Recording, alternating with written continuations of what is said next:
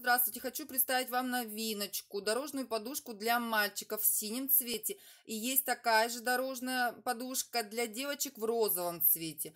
Подушка очень классная, она обеспечивает правильную поддержку головы вашего ребенка во время сна, в любом транспорте, в автомобиле, в автобусе, в самолете.